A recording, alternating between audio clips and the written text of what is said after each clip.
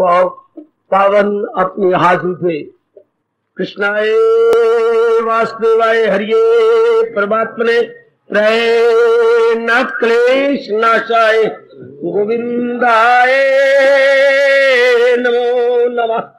गोविंदाय नमो। वसुदेव सुतम देवम कंसानूर्मर्दनम देवकी परमानंदम कृष्ण बन जगत गुरु कृष्ण वंदे श्री कृष्णा शरण मम। श्री कृष्णा शरण मम। श्री कृष्णा शरण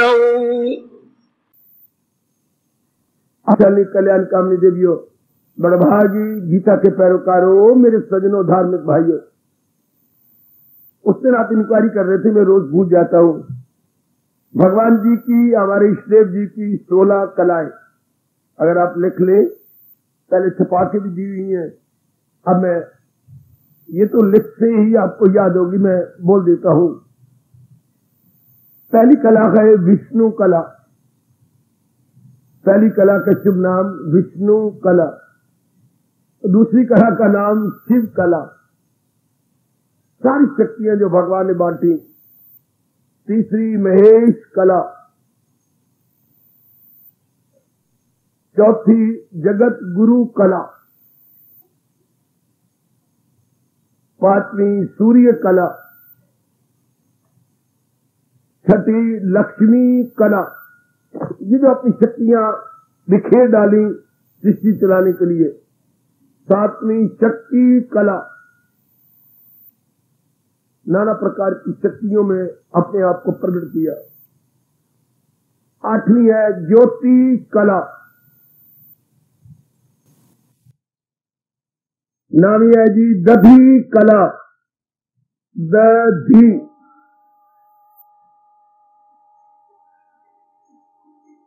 सुषमा कला। सा, साधारण सा। छोटे की मात्रा और चाप पेट फटा। मूर्धन में बोलते उसे सुषमा कला। ग्यारहवा कांति कला।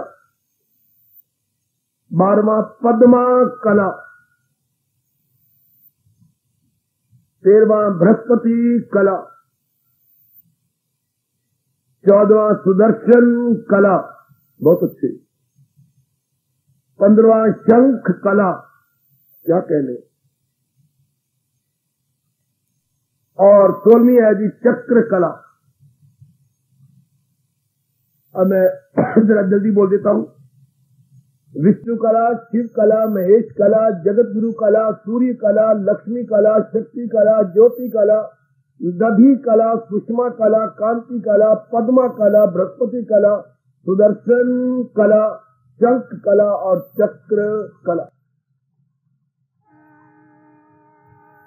हर प्रकार के होते हैं। जानकारी कर लीजिए। महाराज जी शेख के रूप में तो ये पूर्ण अवतार बोलते हैं इसे। पूर्ण अवतार।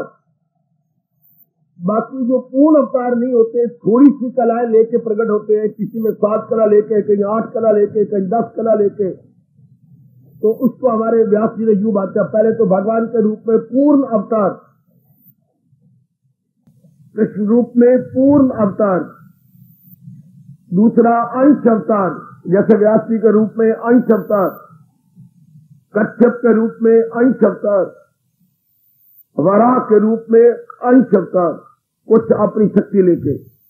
तीसरा होती है कला अवतार, थोड़ी सी कलाएँ प्रकट करने के लिए। चौथी होती है युग अवतार, युग के अनुसार।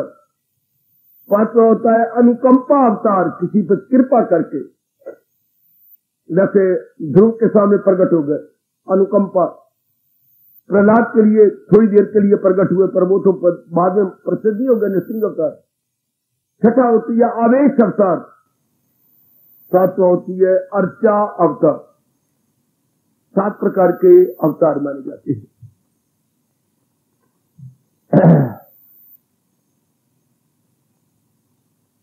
जो विशेष, विषय मेरे सजनों, मेरे देवियों भगवान जी की अपार कृपा से चल रहा था, वो संपूर्ण हो गया।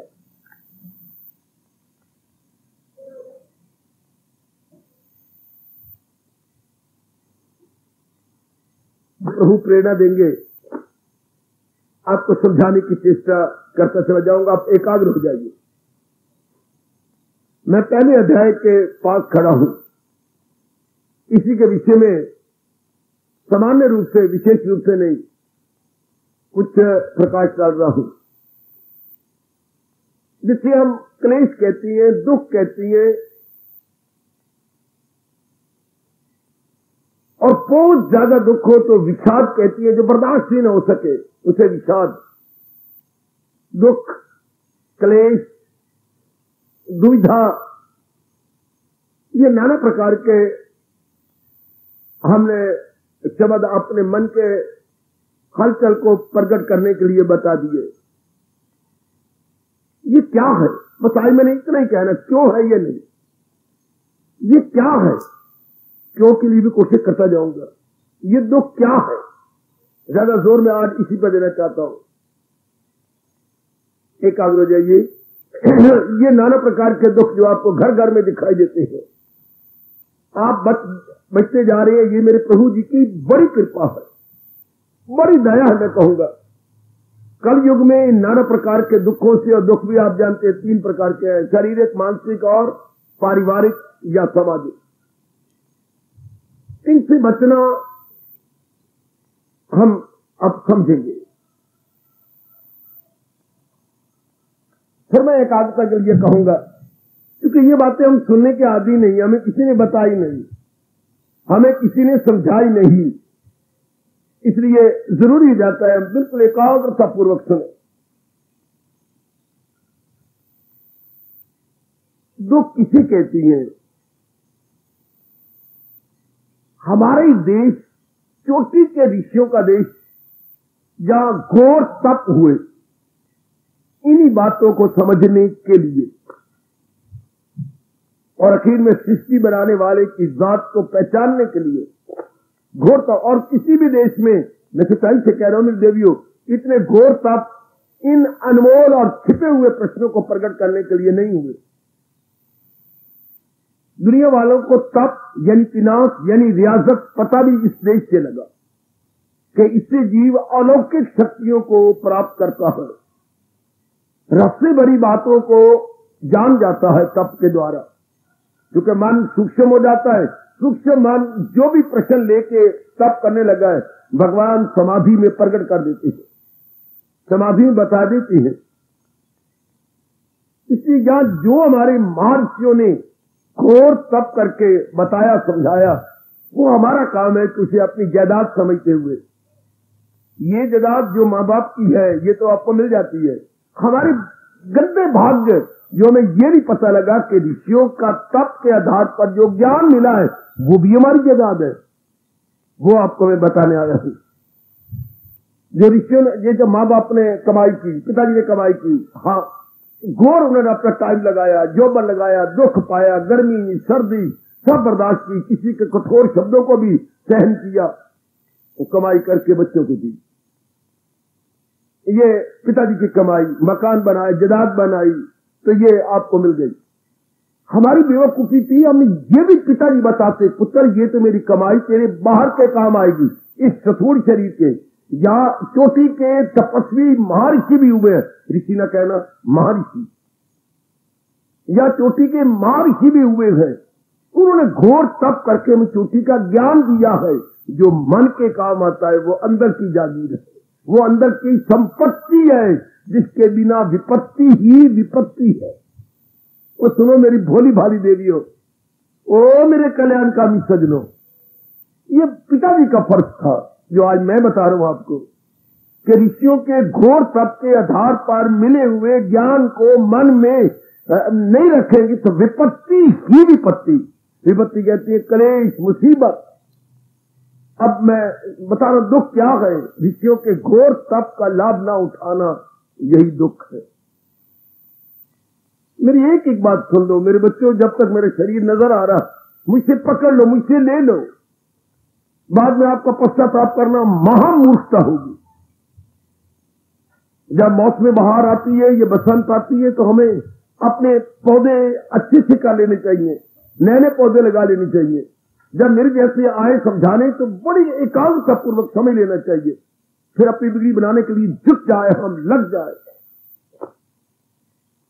हमारी दो प्रकार की संपत्तियाँ हैं। संपत्ति मेरी जागीर, संपत्ति मेरे प्रॉपर्टी। प्रॉपर्टी।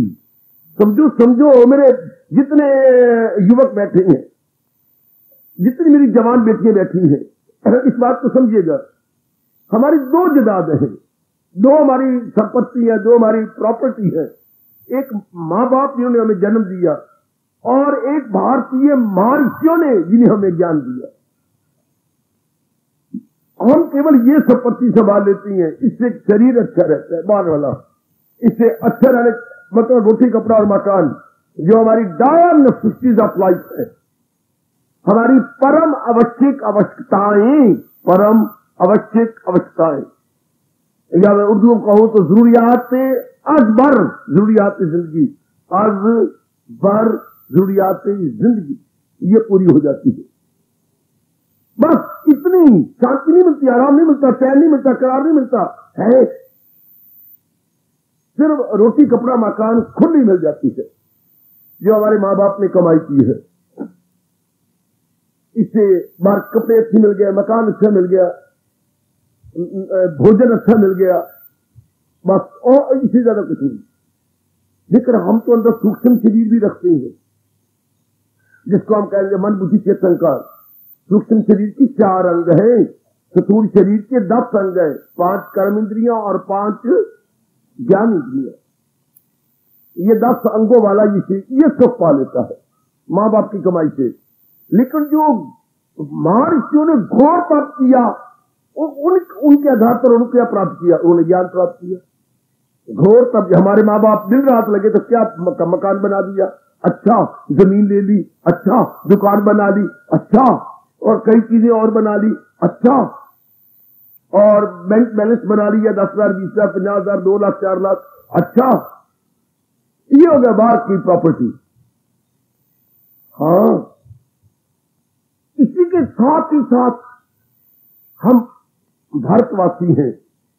जहाँ के महर्षियों के घोर तप की प्रॉपर्टी लेनी थी, ज्ञान। वो हमें मन को दे देनी थी। इससे मन शांत रहता। इससे मन आनंदित रहता। इससे मन प्रसन्न रहता। या हर्षो उल्लास से भरा रहता। ये गीता जी का शब्द है हर्षो उल्लास जरा बोली मेरी बेटी है हर्षो उल्लास हर्ष ओ उल्लास हर्ष होता खुशी। उल्लास इतनी खुशी आई कि हमारे से न हुई। उसे उल्लास कहते डबल लाभ आधा लाभ पूरा लाभ हर्ष तो आप जानती है, उल्लास। अच्छा। अगर आप भगवान के ज्ञान को नहीं लेते दवार में अध्याय में क्या कहा? हर्ष के बाद शब्द क्या लगाया? अमर्थ हर्ष का विपरीत अर्थ अमर्थ वह फिर अमर्थ ही अमर्थ है बड़ा अजीब और विपरीत आर्थिक है विपरीत आर्थिक शब्द देखिए अमर्थ जो आजकल हो रहा है, चारों ओर हो रहा है। एक ही जवाब। हमने दूसरी जिदाद नहीं संभाली जिससे मन चैन पाता चार चार कान ले लो इसमें मुझे कान नहीं चाहिए मुझे तो आप जबान चाहिए मेरे दो कान पकड़ लो चार कानों से सुन लो हम क्यों दुखी हैं घर घर क्यों आग लगी घर घर बेचैनी है बेकरारी है चाची हमारी गर्म रहती है बाप का क्या हो गया क्या हुआ नहीं कुछ नहीं हुआ कुछ नहीं हुआ क्या बात हम, दुग्धा में रहती हैं और हमारे देश के चोटी के ऋषि बता गए दुग्धा में दोनों गए। दुग्धा में दोनों, क्या दुग्धा में दोनों गए, माया मिली न राम। माया कत लगाना लोक और मिली न राम परलोक। दोनों मारे गए हम। दोनों से मुझे लोक से भी और परलोक से। माया का धन न कहना मेरी बेटी। माया को तो संसार का लोक। माया में सबको देगा माँ, बाप, बहन, भाई, पति पति सारा कुछ आ गया। अच्छा। माया मिली ना राम। राम का मतलब परलोक। दुविधा में दुविधा क्या होता क्या करूँ क्या नहीं करूँ, ये बीमारी आजकल आम चल पड़ी है। आम। आजकल ये अंदाज़ा लगा गया कि 10 साल बच्चे से लेकर के एक मरने वाले मृत्यु उन्मुख सौ साल जो है, उस तक ये बीमारी फैल चुकी है। मरने के दिन रह गए कोई कोई अठारह घंटे बाद बुढ़े ने मर जाना, बुढ़ा का सुधा फिर भी दुविधा में है। पुत्र पूछता है, बाबा अब तेरी ज़िंदगी थोड़ी नज़र आती पई है हूँ मैं जानता पिया। तो कोई तेरी उमंग है तो बता दे, इक्का उमंग है संतरा निचोड़ के मेरी जबान से रख। सच्चाई से काम दे रहा हूँ, ये पिता, बेटा कह रहा था कि मेरे पिता ने आखिर में ये मांग की है, निचोड़ संतरा तो मेरी जबान से रख से मैं घोट भरा उधर काल घोट भरने वाला है, ये संतरा घोट मेरे रब हो मेरे रब ये हिंदुस्तान। बेटा बैठा होगा, सुन रहा होगा जो अभी थोड़ी देर के बाद मरने वाला, शरीर छोड़ने वाला है उसकी ये फरमाइश है। तो सारी दुविधा में है। मैं फिर कहना चाहता हूँ, हिंदुस्तान के धार्मिक सजनों, धार्मिक देवियों, हमारी दो जदाद है, हमारी दो प्रॉपर्टी है। बाबा, दो प्रॉपर्टी? हाँ एक तो इस शरीर को जन्म देने वाले माँ बाप की प्रॉपर्टी क्या वो जड़ है या चेतन सावर है या जंगम मूवेबल है या इमूवेबल दो प्रकार की प्रॉपर्टी होती है। मूवेबल और इमूवेबल एक तो चलने पाने वाली चीज़ें माँ बाप ने बनाई है, वो भी आपकी है। और एक इमूवेबल मकान, ज़मीन, और चीज़ें जो जो जिन, जिनमें हरकत नहीं होती, जो जड़ है। हाँ सावर कहिए जंगम कहिए ये दो प्रकार की प्रॉपर्टी आपकी है और आपको मिल जाती है। बड़े अफसोस की बात, बड़े मंद भाग्य। क्या हमने दूसरी प्रॉपर्टी को ध्यान नहीं दिया? जबकि भगवान ने कहा है, सुनेगा न मेरी जो अहंकार से, तबाही में जाएगा पिंदा तबाही ही तबाही है। क्या उस वक्त रोटी करेगी, मकान करेगा, कपड़ा करेगा, बैंक बैलेंस करेगा, जब मेरा मन मेरा मन दुखी हो रहा होगा? फिर जब मैं छमछम रो रही होंगी, उस वक्त बैंक बैलेंस तेरे काम आएगा। पति का प्यार तेरे काम आएगा, मकान तेरे काम आएगा, दो मंजिला मकान ऊपर किराएदार बैठा हुआ तीन हज़ार वाला। वो तेरे काम आएगा, तेरी साड़ियाँ काम आएँगी। या बड़ी चीज़ें खाने की पड़ी है, तूने कई प्रकार के मुरब्बे बना रखे हैं, कई प्रकार के अचार माँ की धी ने। अगर मैं आँखें बंद करके देखूँ तो एक, दो, तीन, चार, ते पाँच, ते डब्बा आधा साढ़े पाँच। इस प्रकार के अचार बना रखे साढ़े पाँच प्रकार के खट्टे मीठी चटनी बना रखी है। बाबा सारी रात की गला दसी है ना, हमने अंगीठी पे रखी है, देख रहा हूँ। अभी तो ये हमारे काम आएँगे, ये अचार चूर और ये वो, कुछ नहीं काम आते ये चीज़ें, रोटी, कपड़ा, मकान, कब जब बेचैनी हो, जब अंदर विवरिंग हो, जब अंदर हलचल मची हो। फिर क्या काम आएगा जो, जिसकी हमने कदर नहीं की? और एक एक बात सुनो, हिंदुस्तान की धार्मिक चिंता एक एक बात सुन ले। जब मन बेचैन हो बेकरार हो हाँ छम छम रो रहा हो, छाती कुट रहा हो। वाल अपने तोड़ रहा, मैंने ऐसे देखा समाज में। वाल तोड़ते हुए, छाती पर ज़ोर ज़ोर के मुक्के मारते हुए, अपने मुँह पर लानते मारते हुए। और बड़ी तरह अपनी अपनी अपनी अपनी अपनी ये मस्तक ज़ोर का मारा दीवार के साथ फाड़ दिया अपना मस्तक। क्योंकि तार आई, लड़के की डेथ हो गई। ज़ोर के बाप ने मारी दीवार के साथ। और इतना खून और सारा खुल गया। कितने टांके लगे होंगे। मैंने जब मैं आपके समाज में रहा थोड़ी देर हूँ। फिर मैंने बड़ी अजीब बातें देखी है। राख डालते हुए अचानक पति की डेथ हो गई। राख सिर में गरम गरम राख है है उसको गली वाली पकड़ने वाली राख डाली जा रही, डाली जा रही है। नहीं, मैं इसे योग मैंने मरना इससे रहेगा कितने दुख आते हैं। उस क्या कुछ काम आया? आओ अब हम तरीके से विचार करें। मैं दो प्रकार की जदाद कहता हुआ, जरा आगे बढ़ूँगा। दुख क्या है? मैं और आप बड़े कृतज्ञ हैं महर्षि वेद व्यास के जरा प्रणाम तो करो। मेरे साथ जरा बोलिए। सुना व्यास जी की दया से तमाम ये श्री कृष्ण योगेश्वर का कलाम। आए हाय। इन्होंने अगर गीता का विस्तार न किया होता तो भगवान ने तो केवल सात श्लोक कहे थे। एक कमली रमली डबल रोटी। भगवान ने सिर्फ़ सात श्लोक। सारा इन्होंने विस्तार करके हमें समझा दिया। बड़ी भारी कृपा। सुना व्यास जी की दया से तमाम।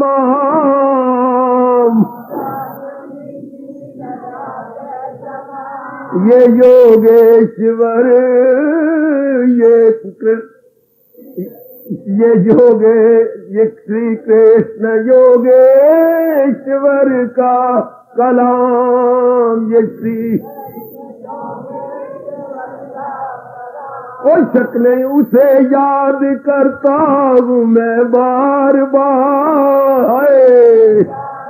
बहुत बड़ा एहसान बहुत बड़ा।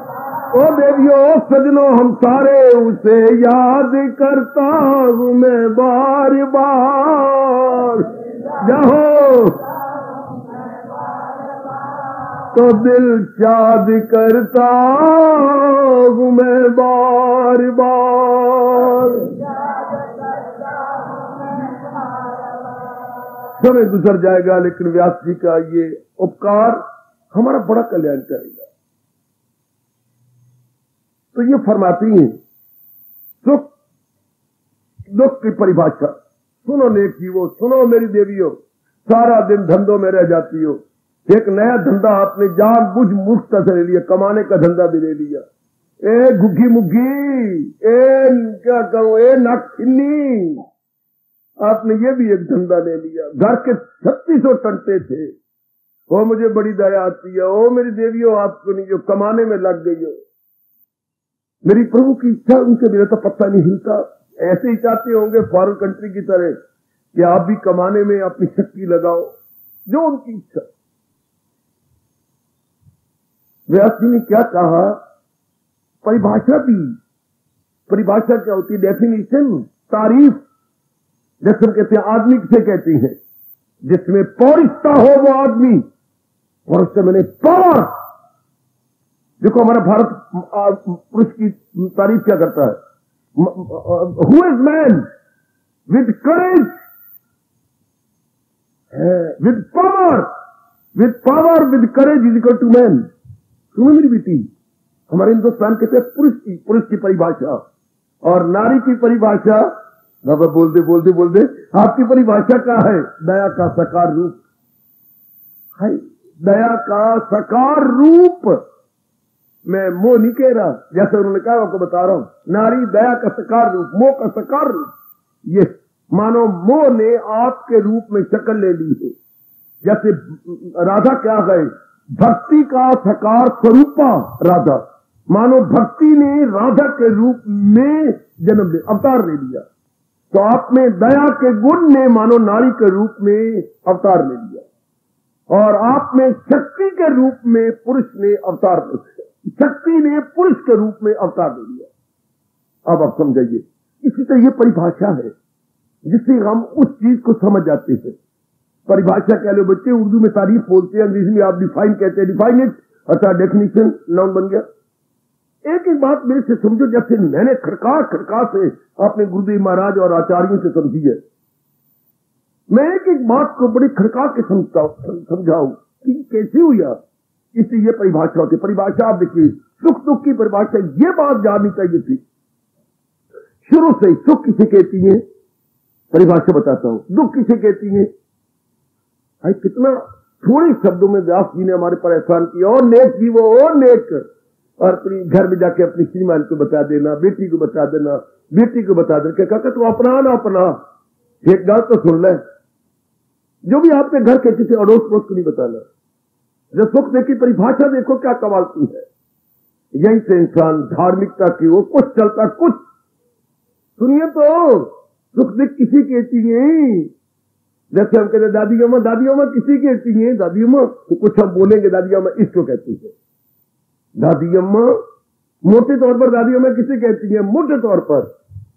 दादी अम्मा की परिभाषा क्या है? जो मेरे बाप की माँ हो, वो दादी अम्मा चल, नानी कैसे जो माँ भी लगे, माँ और नानी होगी सीधी बात साधारण शब्दों में, इस तरह सुख किसे कहती है?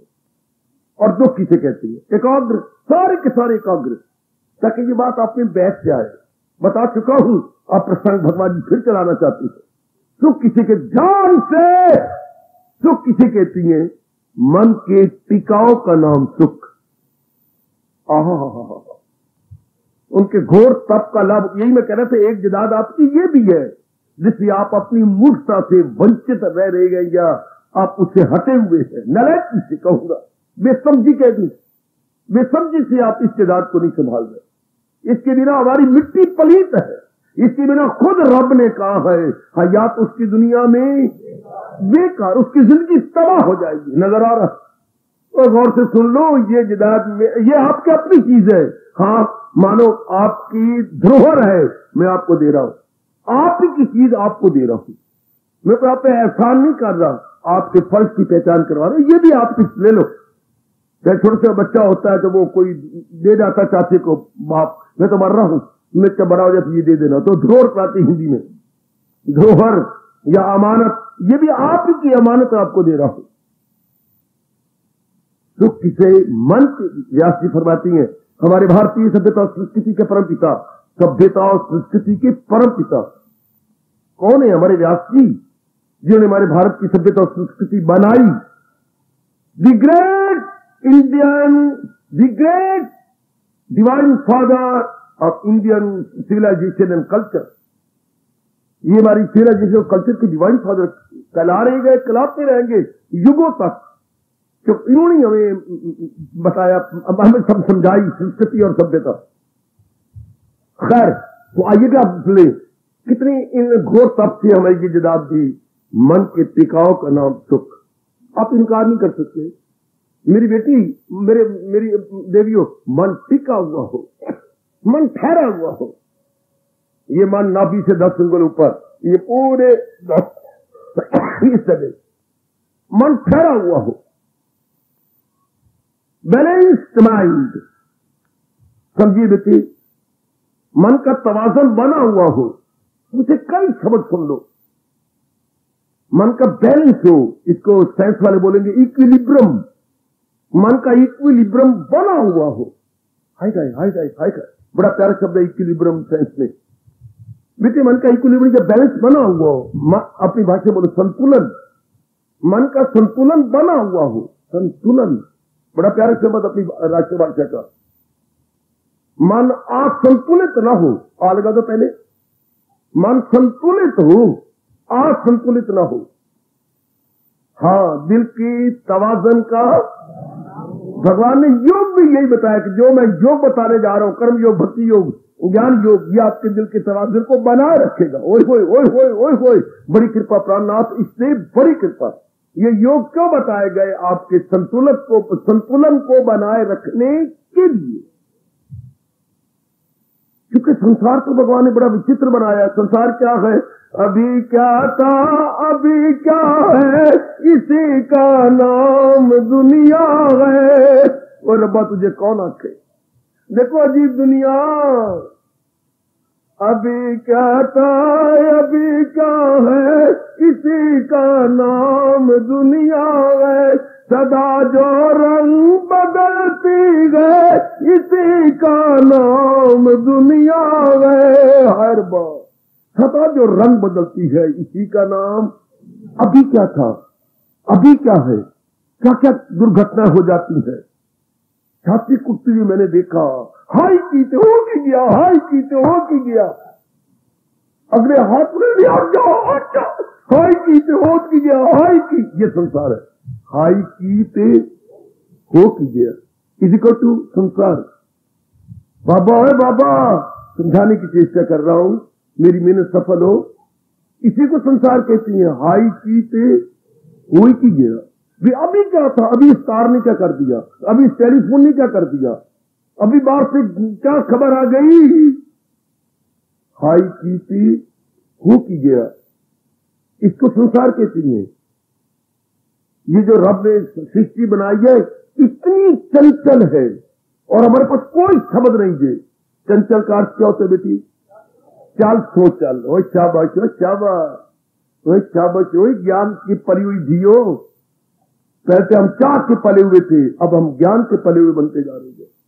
संसार क्या है? चंचल चंचल का अर्थ लगाना चल सो टिकना ही नहीं इसमें। चल सो चल चल सो चल चल सो चल। और आगे still more still further still further ये संसार है। मैं वही खड़ा हूँ, मैं कहीं नहीं गया मेरी देवी, मेरे सजनों सुख किसे कहती है? महर्षि वेद का घोर तप। और उसके आधार पर मिला हुआ ज्ञान। हमें तो सब रेडीमेड मिला हुआ है। घर में माँ बाप ने रेडीमेड सब कुछ दे दिया। इधर ऋषियों ने घोर तप करके रेडीमेड दे दिए। सब कुछ अपना सिर्फ़ अपनाना। जैसे पिताजी आपको जदाद देंगे, सिर्फ़ आपने मेंटेन करना है। सिंपली मेंटेनेंस अरे बच्चे, देखभाल करनी है आपने। सब कुछ आपको देंगे, सब कुछ। हाँ। इधर ऋषि भी घोर तप के आधार पर ज्ञान दे देगी। सिर्फ़ मेंटेन करना जैसे मेंटेन होता है और अपनी भाषा में कह लो देख रेख केवल हमें देख रेख कर करनी है। हाय, मैं कुर्बान है कुर्बान। सिर्फ़ देख रेख अब खुद घोर तप नहीं करना देख रेख करनी है। उसको मेंटेन करना है। जैसे कार आपको पिताजी दे गया, नई कार है, अभी दो महीने चली पिता पिताजी छोड़ गए। Now you have to look after उसके जिसको लुक आपसे कहते हैं मेंटेन करना मेंटेन करना। जो खराब ना हो पेट्रोल ठीक डलता रहे, इसके मोबाइल बदलते रहे, इत्यादि। सफ़ा, गंदी, न रहे धुलाई करते रहिए मेंटेन करना। इसी तरह हमें घोर तप नहीं करना अब। वो जो उन्होंने तप करके दिया, उसे मेंटेन का अपना बना लेना। उसे अपना रख लेना। शाबाश। ये बैठी होंगी। रानी जिठानी है। हाँ दरानी के बच्चे होते जिठानी कोई नहीं होता। रोज बड़ी ज़ोर की, रोल बड़ी ज़ोर की देते पहले भी तीन काके हैं, फिर एक मुन्नी, दो काके है। फिर तो रोती क्यों है? देख ले मेरा एक भी नहीं होता। मैं पिट पिट के मर गई हूँ, मेरा नहीं होता। तो कोई बात नहीं। श्रीमान को बुलाया। अभी मैं दो तीन दिन हुए हुए बच्चा हुआ। तो बुलाया, देखिए, अगर आप आज्ञा दे, बोल, ये बच्चा मैं इनको दे देती देखिए, तेरे नहीं होते, मुझे दे दे। ले लो। चलो, आप पाल रही हो, बच्चा उनका हो गया। जा देना। अब उसने क्या करना है? बच्ची को पेट में नौ महीने रखने का कोई दुख सहा और जब डिलीवरी होती है, तब भी ज़िंदगी और मौत से गुजरना पड़ता है। वो भी कोई दुख था, सिर्फ़ बच्चे को मेंटेन करना। इसे बोलते हैं मेंटेन करना। कोई इसमें दुख नहीं था। ये तो जन्म देने वाली होती है कि प्रसव पीड़ा कितनी दुखदायी होती है तो वो जानती है। वो बाल को क्या पता कि दर्द क्या होती है? इसी तरह गौर तपस्वियों को पता है कि तप की क्या कीमत होती है। हम गुगनुओं क्या पता तप की क्या कीमत होती है। ये तो जिसके पैर न फटे बुआई ए, मेरी बोली वाली, ए, मेरे सजनों, जिसकी पैर न फटे बुआई क्या जाने वो? पीर पढ़ाई कहावत हमारे देश में प्रसिद्ध है। हाँ। अब उसने क्या करना मेंटेन करना है जिठानी ने। ए, जिठानी मेंटेन कर ले। कर लूँगी। बड़े प्रेम से, दोनों तो एक ही घर में रहती है। इसी तरह जो मैं आपको दे रहा हूँ, ये ऋषियों का घोर तप के आधार पर अनुभव किया, प्राप्त किया वो नहीं तो प्राप्त होती वो चीज़ जो पहले ना हो और नहीं बनाई जाए। सुनो नेक जीवो भोली भारी डबल हो सुन लो। प्राप्त से जो चीज़ पहले नहीं तो उसे प्राप्त किया। तो जो पहले हो, उसे लेना, अनुभव करना। To realise not to attain not to get पर जो चीज़ पहले हो हाँ उसे रियलाइज़ किया जाता है। अच्छा तो फील फील किया जाता है। प्राप्त होता है जो चीज़ पहले नहीं है। जैसे आपने बेटा प्राप्त किया कितनी कुर्बानी करके नौ पेट में रख के, दर्द सह के अब मेरे भगवान ने आपको दिया। ये ये आप इसने प्राप्त किया। ये आपका बच्चा पैदा हुआ। लेकिन जो चीज़ हो दिए गई है हम तो इसे क्या रियलाइज़ कर रहे हैं। अब अब उसे मेंटेन कर रहे हैं। First to realise first to feel then to realise then to maintain अब हम मेंटेन करने जा रहे हैं। तो सुख क्या है? सुख सुख किसे कहती है? क्या देना? मन की टिकाव का नाम सुख। अभी आप शांत है, मन टिका हुआ। अभी आप बिल्कुल शांत है। बिल्कुल शांत। कभी कभी किसी मेरी मैया को मेरे भाई कुछ हो जाता है, बाहर चल जाता है। क्या हुआ? कुछ मैं अब नॉर्मल हो रहा हूँ। कुछ मुझे बेचैनी होती जा रही है फिर दर्द भी ज़ोर की हो रही है। एक भाई पकड़ते हैं कि सारे डिस्टर्ब ना हो, बाहर ले जाते कुछ पानी पिला, कुछ पैर रगड़। तो क्या हो गया? मन भी चैन हो गया। इस तरह सारे चैन में है, ये सुख है। टिका हुआ मन। भगवान न करे कोई ऐसी दुर्घटना हो जाए। कोई ऐसी आप आप नेबिलिटी आपको कोई हो जाए, या असामान्य घटना आपके साथ घट जाए तो मन के टिकाव का नाम सुख। सारे वर्ल्ड ने इस बात को माना, बच्चे, इनके घोर तप, इस पर कोई कटाक्ष नहीं हो सकता। इस पर कोई जरा नहीं हो सकती। जैसे दो वकील आपस में क्रॉस एग्जामिनेशन करते हैं। एक दूसरे पर कटाक्ष करना, जरा करना, उर्दू बोलते जरा करना। जी ने ठीक है। मन टिका हुआ हो, इसी को सुख कहती है। समझ गए? मुझे पूरी उम्मीद है सारे मेरी मेहनत का लाभ उठा रहे होंगे।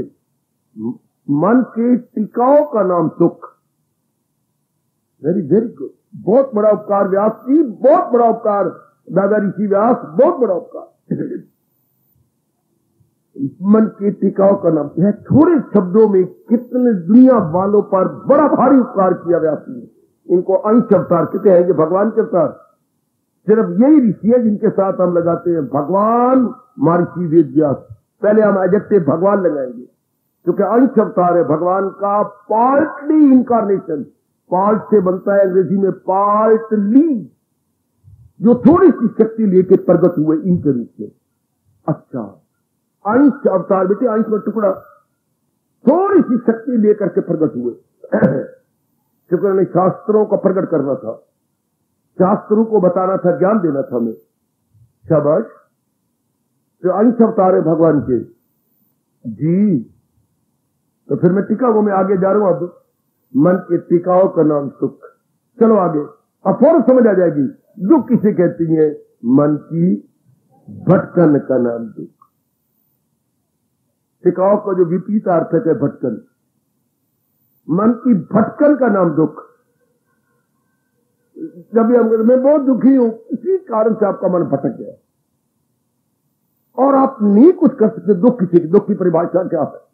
What the true definition of affliction sorrow misery अगर हम सही रूप में जीनियन डेफिनेशन ढूंढे, इससे बढ़ के कौन देगा? आप सारे एग्री कर जाएँगे। सारी मेरी दीदियाँ, सब पढ़ी लिखी, जनता या सारी जेंट्री पढ़ी लिखी है। तो मन की भटकन का नाम क्या कारण कोई भी हो। चाहे बुखार हो गया तो भटक गया मन, चाहे नौकरी पर कोई सवाल उठ रहा है तो भटक गया मन, काका बीमार है, उसका बुखार नहीं उतर रहा, चार दिन हो गए तो चार पर बुखार खड़ा भटक गया मन। खर्च बहुत बढ़ चुका है और दिया नहीं जा रहा, भटक गया मन। कारण कारण कोई भी हो जाए, मेरी देवी, जिससे मन भटक जाए हाँ उसको दुख कहती है। मान जाओ, नहीं मानते तो खड़े हो जाओ। इससे खड़े होने वाली बात कोई नहीं, इतराज वाली बात ही कोई नहीं। कैसी बात? क्योंकि ये घोर तप के आधार पर बातें हैं। कल्पना नहीं, फर्जी बातें नहीं है। किसी कल्पना के आधार पर नहीं। It is not supposition it is not imagination it is fact और मैंने कई बार कहा फैक्ट कौन होता है? कौन सा फैक्ट होता है? जिसमें डिफेक्ट ना आए। जिसमें कोई डिफेक्ट ना आए, वो फेक्ट कहलाए। हाय भाई हाय भाई हाय। जिसमें कोई डिफेक्ट ना आए, वो वही फैक्ट कहलाए।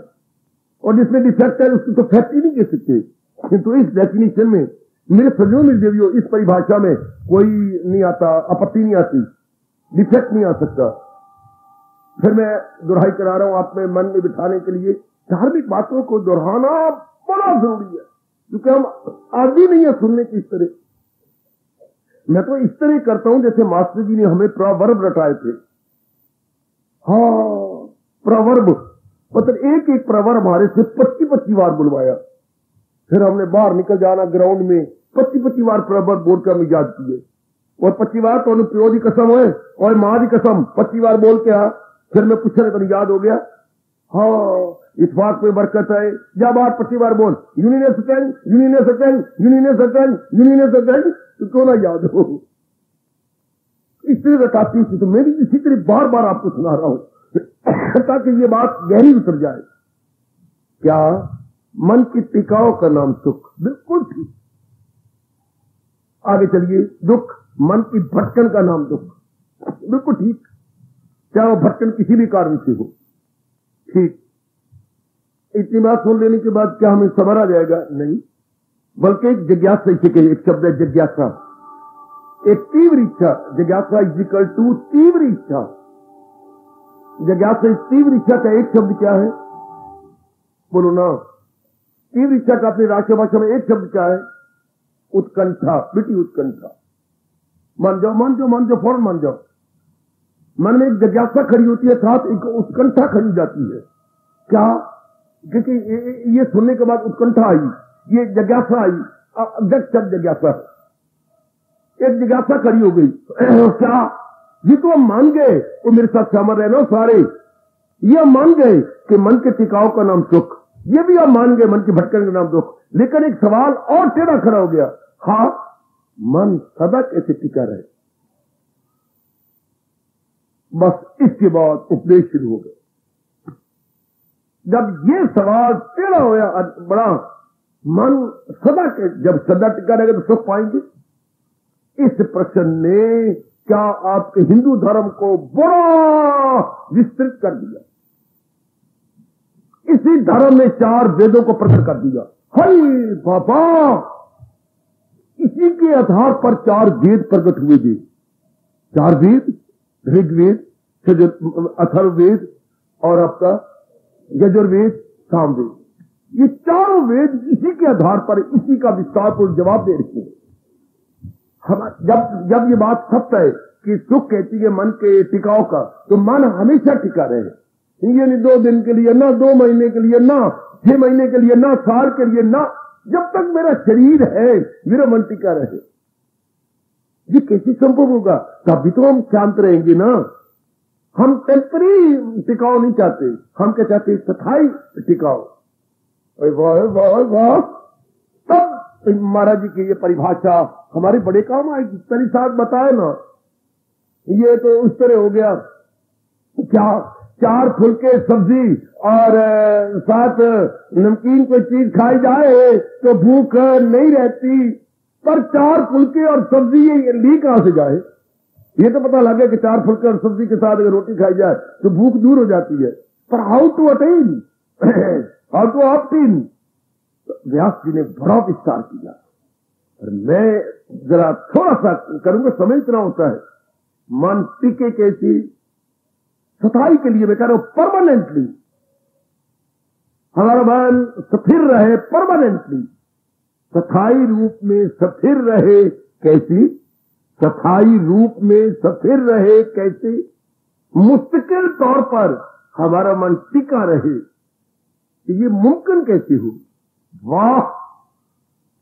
इसके बाद क्या शुरुआत हो गई? धर्म की शुरुआत। इसी प्रश्न ने धर्म का बीज डाल दिया।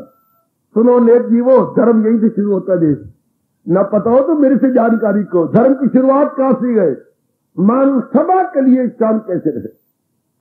या शांत न कहो, मन सदा के लिए टिका कैसे रहे? उन्हीं के शब्द लो। मन सदा के लिए स्थिर कैसे रहे? सदा शब्द लगाना, ये नहीं कहना, मन सफ़ेद कैसे रहे? गलत हो गया।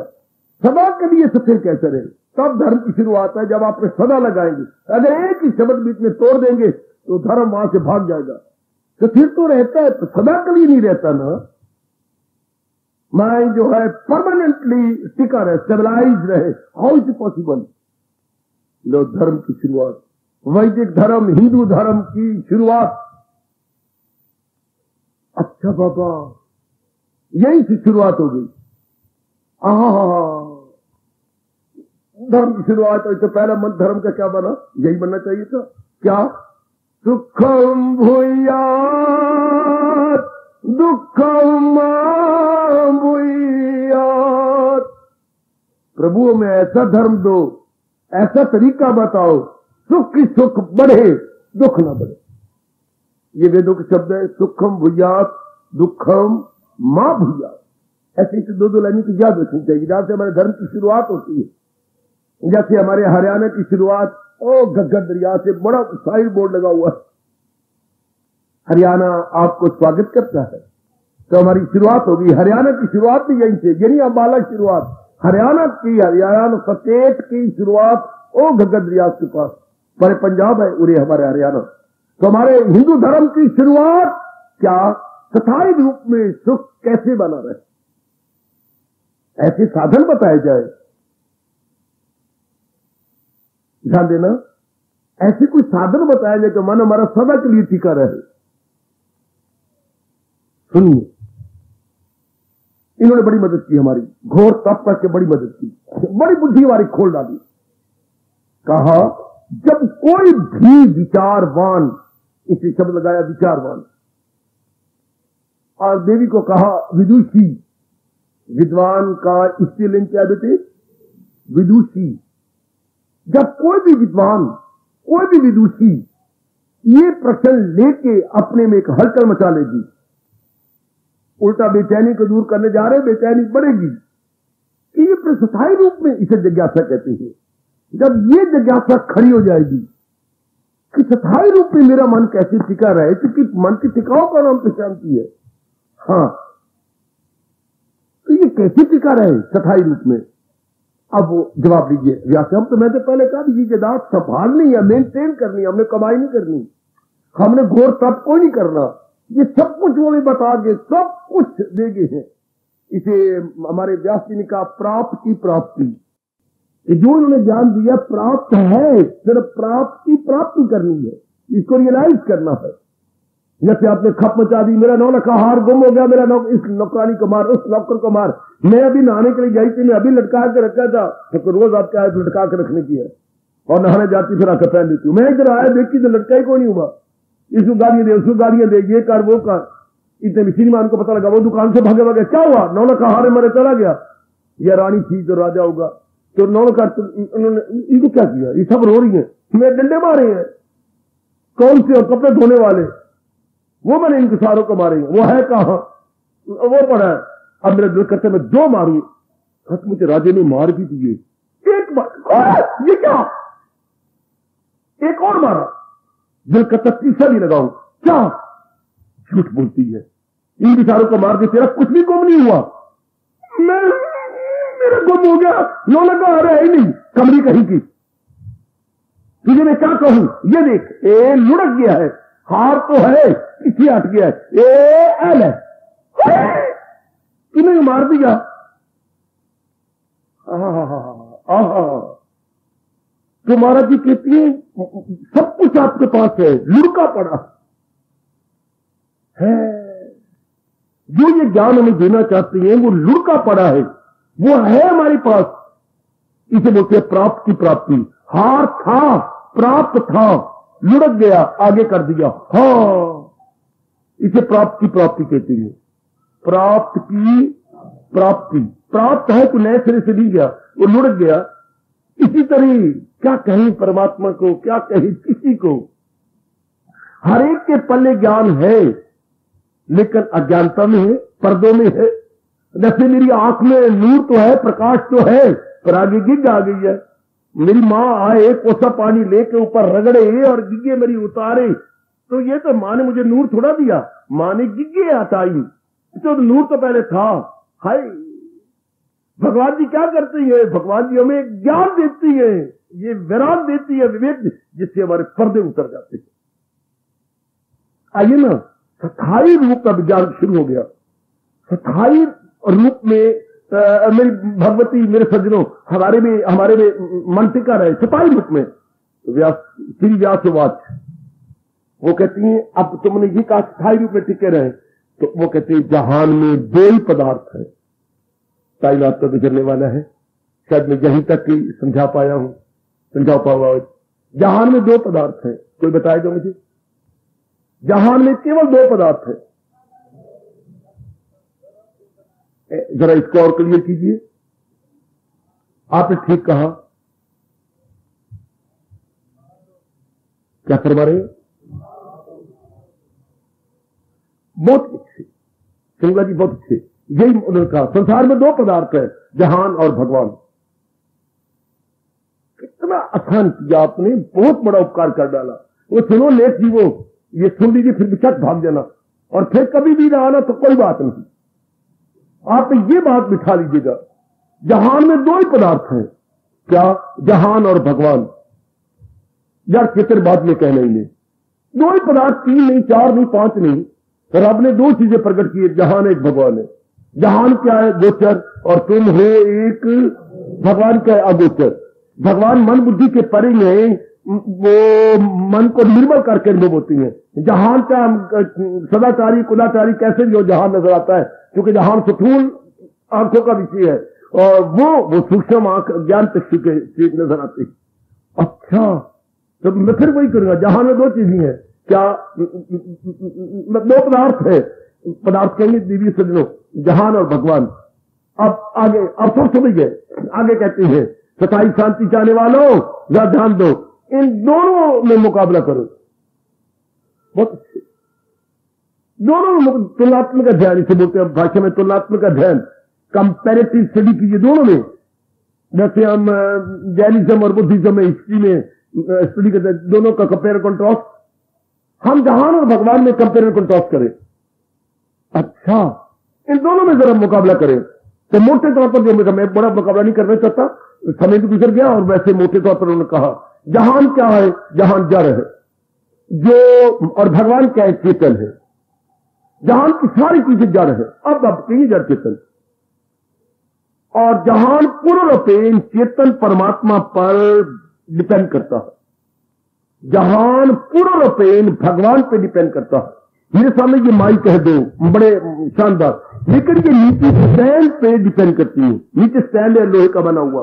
ये नीचे छेद है जिस पे रखने से ये डिपेंड करते अपने आप ही गिर जाएगा। और शायद इसके कुछ क्वायर खराब ना हो जाए। अंदर वॉइस मैग्नेट है, वो बिगड़ जाएगा। तो ये इसका आधार क्या है? नीचे स्टैंड माइक स्टैंड इससे जहान का आधार क्या है? भगवान जी भगवान जी के आधार पर एक एक चीज़ चल रही है। अनु है, परमाणु है, हाथी है, ब्रह्मा जी है, मेरा शरीर है, ये किसी और का शरीर है, भगवान जी के आधार पर। इसलिए अनुभवी महापुरुषों ने कहा, मेरी हस्ती, भगवान के आगे खड़े होकर प्रणाम करके घुटने टेक के कहा, प्रभु, मेरी हस्ती, ध्यान देना ध्यान देना ध्यान देना मेरी बेटी, मेरी हस्ती, तेरी हस्ती के सिवा कुछ भी नहीं। मेरी हस्ती, ध्यान देना मेरी बेटी, ध्यान देना मैं सजनो प्रभु, मेरी हस्ती, तेरी हस्ती के सिवा कुछ भी नहीं। तेरे कारण से मैं कुछ हूँ। हाँ आपने मुझे कुछ बना रखा है, वरना तेरे बिना तो मैं कुछ भी नहीं हूँ। मेरी हस्ती, तेरी हस्ती के सिवा कुछ भी नहीं। शाबाश शाबाश शाबाश। जैसे एक लखपति हो गया लड़का। लखपति की औलाद नहीं थी, उसने गोदी ले लिया। एक कंगाल बच्चे को बड़ी अच्छी सीएससी पढ़ा लिखा था, गोद में ले लिया। उसके माँ बाप नहीं थे। वो बेचारा अनाथ था। अनाथ बच्चे गोद में थे। ये भी लखपति हो गया। तो वो लाखपति पैरों में पड़ गया बच्चा कोई जवान था। कि प्रभु प्रभु प्रभु, मैं तो कष्टपति था। आपकी गोद में आने से मैं लखपति हो गया। जैसे वो किंगरा कहे, जैसे वो कहे, अनाथ बच्चा, मैं मेरी हस्ती पिताजी पिताजी, आपकी हस्ती के सिवा, समझी समझी समझी। जैसे एक अनाथ बच्चा एक लखपति को कहे, आपने मुझे गोदी में ले लिया तो मेरी कुछ शान बना दी, वरना मैं दर दर का भिखारी, पाँच रुपए उससे उधार ले, दस रुपए उससे उधार ले, वो झिड़क देता कल दिया था, आज फिर मंगने आ गए। अगर आपने मुझे इतना बनाया तो आपने जब मुझे गोद में ले लिया। भगवान ने जब इसको सहारा दे रखा है शक्ति का, तब ये प्राणी पदार्थ नशवो नुमा पा रही है। इनमें क्या पहल है? फिर मैं कहना चाहता हूँ, प्रभु, मेरी हस्ती तेरी हस्ती के सिवा कुछ भी जो कुछ भी मैं हूँ, आपके कारण से ही क्योंकि जड़ है, ये चीज़ें जड़ है। तो आखिर में भगवान ये क्या करते हैं? चेतन अपना निकाल लेते हैं। अपनी शक्ति निकाल लेते हैं ये किसी काम का नहीं। जैसे बिजली वालों के साथ खेती बैठे हुए कुछ कुछ दिन पहले अनबन हो गई। तो उन्होंने क्या, किया कनेक्शन काट दिया? बड़े पोल पर जाकर उन्होंने कनेक्शन हटा दिया। तो अब आपकी, मेरे ख्याल जैसे आपने बताया कि मेरी कोई आठ, नौ लाख की मशीनरी इंस्टॉल है। हाँ बिल्कुल, किसी काम की भी नहीं।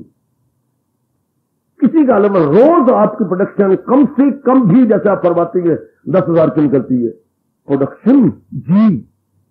और आप कई दिनों से कोई ऐसा गड़बड़ मच गई आपकी की कनेक्शन दे रहे तो क्या होगा सारी मशीनरी किसी काम की भी नहीं।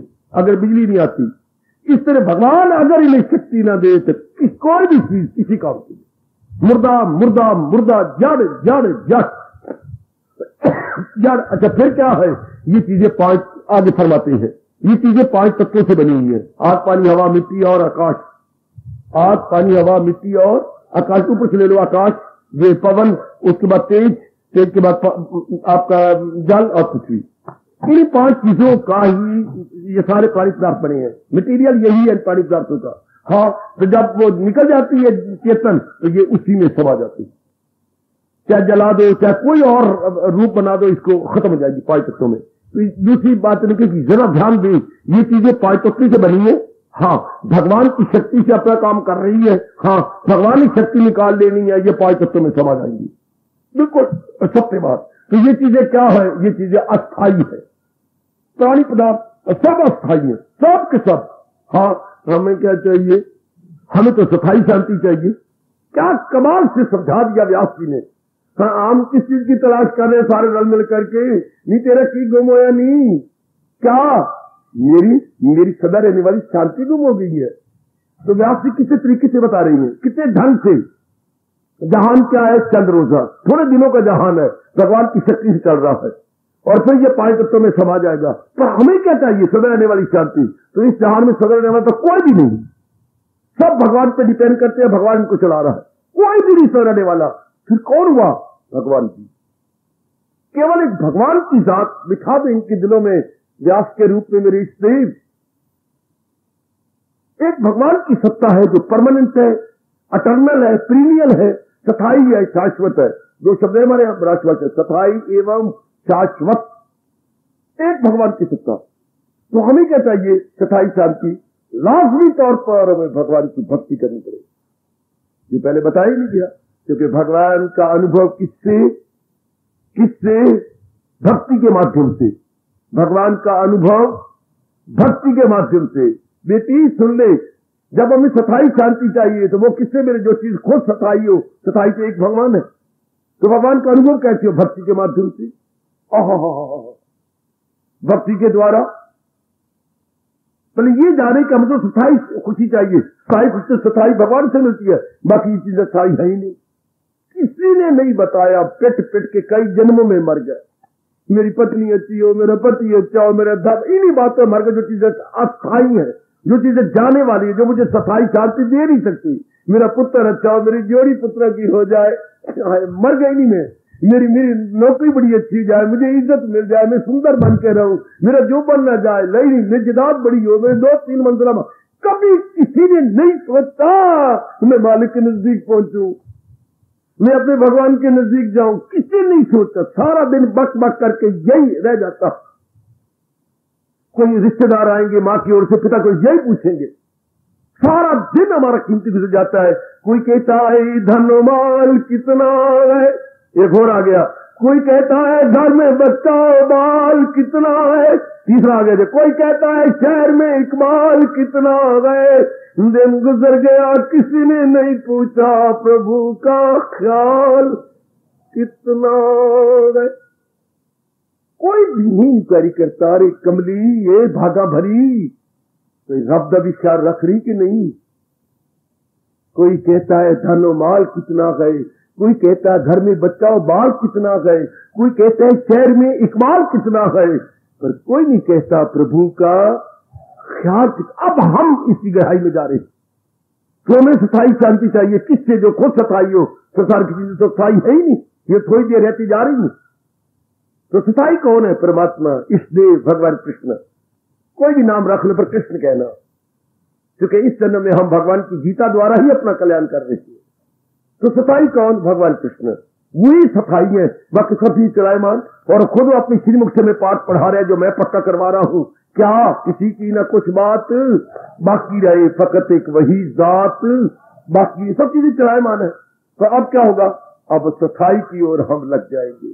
और भगवान धीरे धीरे करके हमारे मन को निर्भर करते हुए हमें सदा रहने वाली खुशी, प्रसन्नता देती जाएँगे, उल्लास देते जाएँगे, हर्ष देते जाएँगे। धीरे करके तो क्या होगा? मन टिकने लग जाएगा।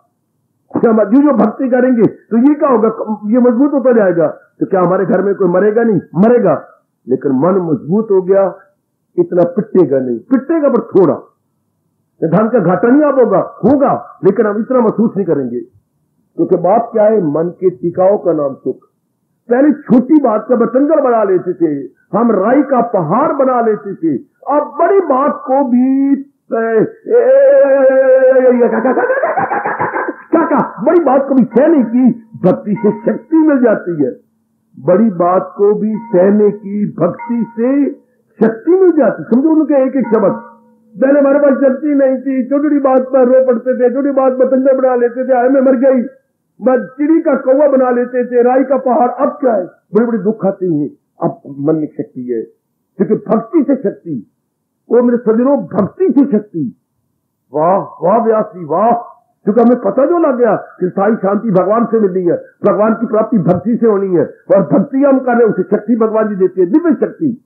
शक्ति भी कई प्रकार की होती है। इसे हम कहेंगे दिव्य शक्ति, अलौकिक शक्ति। दिव्य शक्ति या कहिए अलौकिक शक्ति भगवान से मिलेगी। जिससे क्या होता है? मन मज़बूत हो गया। जैसे दूध दही मक्खन खाने से हमारे एक एक अंग हरिष्ट पुष्ट हो जाता है।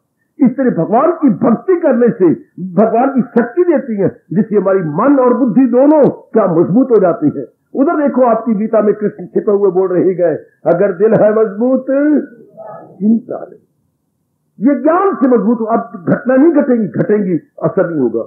और मैं कुर्बान हूँ, मैं कुर्बान हूँ, मैं कुर्बान। कभी धन भी जाएगा, कभी धन आएगा, कभी कोई मरेगा, कभी बीमार होगा। ये होगा, लेकिन असर नहीं होगा। असर नहीं होगा तो क्या होगा? मन बना रहेगा। असर हो तो मन बेचैन होना। हाँ असर, ये तो होना है।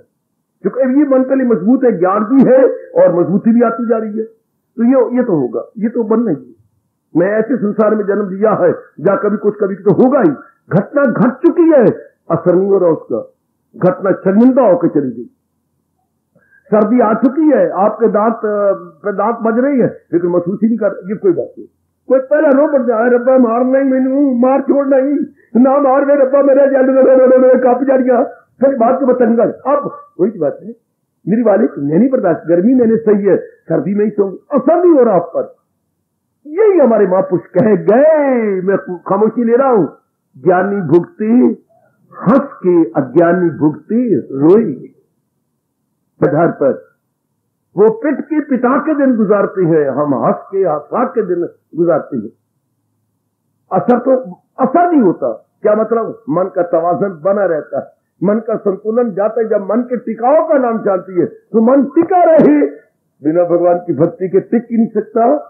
अगर घड़े को चाहते घड़ा टिका रहे तो वहाँ पूछेगा नीचे वो रखो क्या गरवंजी रखो? नीचे चौकसा रखो। तो घड़ा उस पर, घड़े तो नीचे पैदा ही कोई नहीं होता?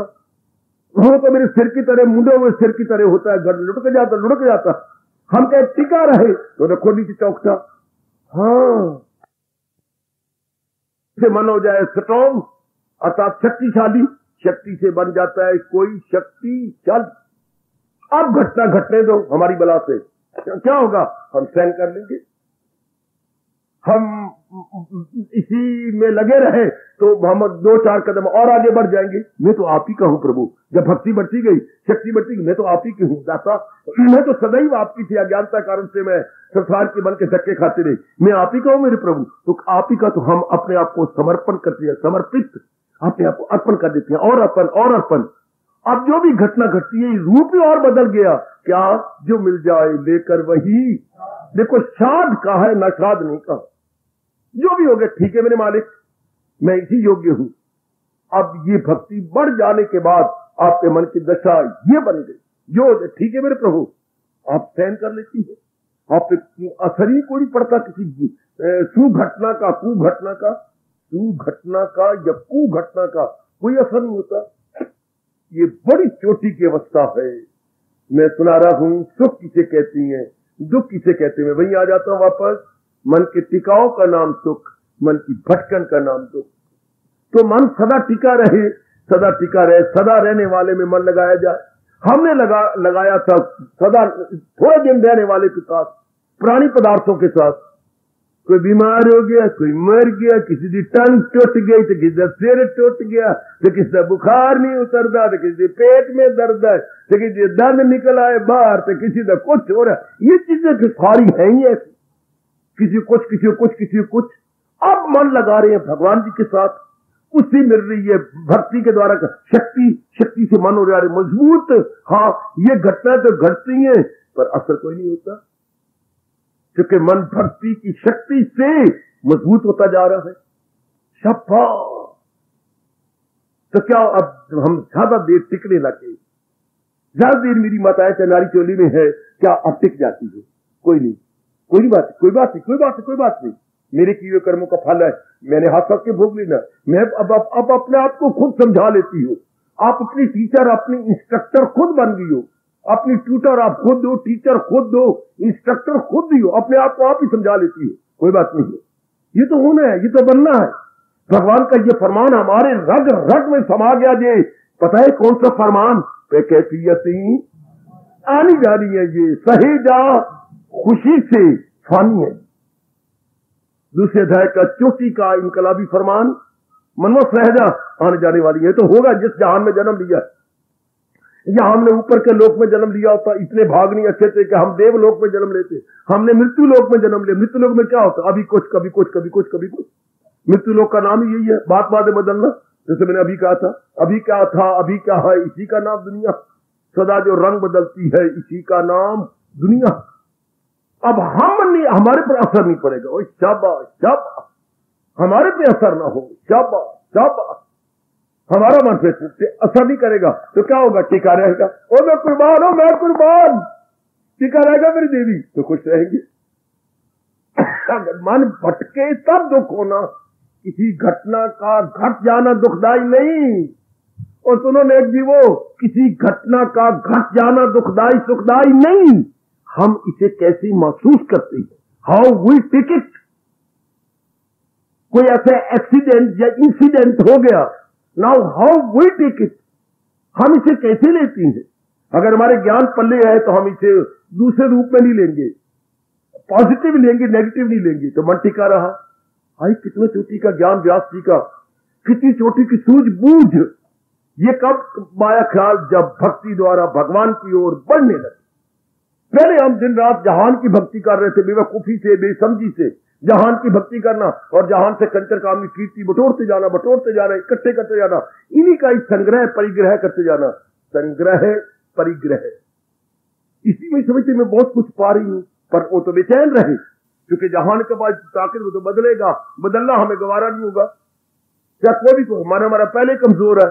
अब पता लगा कि महाराज जी से ही मेरा मन सदा के लिए टिक सकता है। ये बात शुरू में माँ बताए, पिता बताए।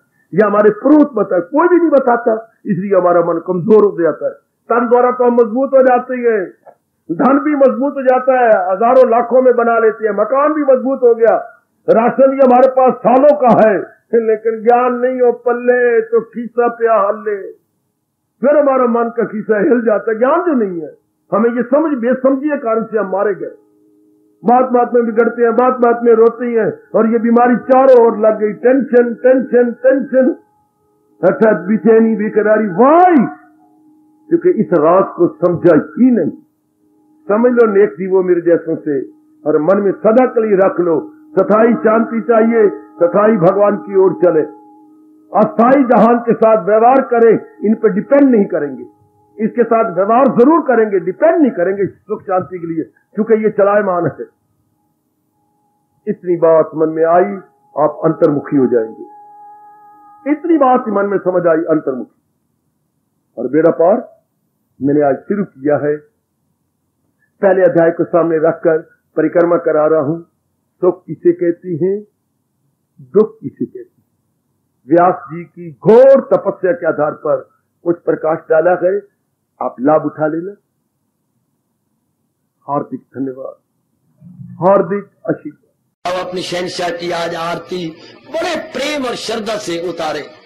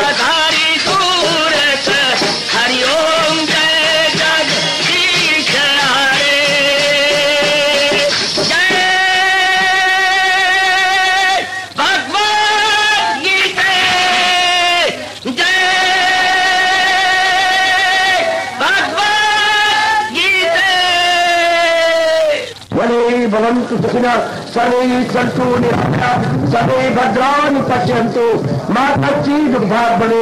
हरिओम शांति शांति। शांति ओम प्रभु। इसलिए भगवान कृष्ण की। भगवत गुरु भगवान कृष्ण महाराज की। सफल करना इसलिए हार्दिक धन्यवाद।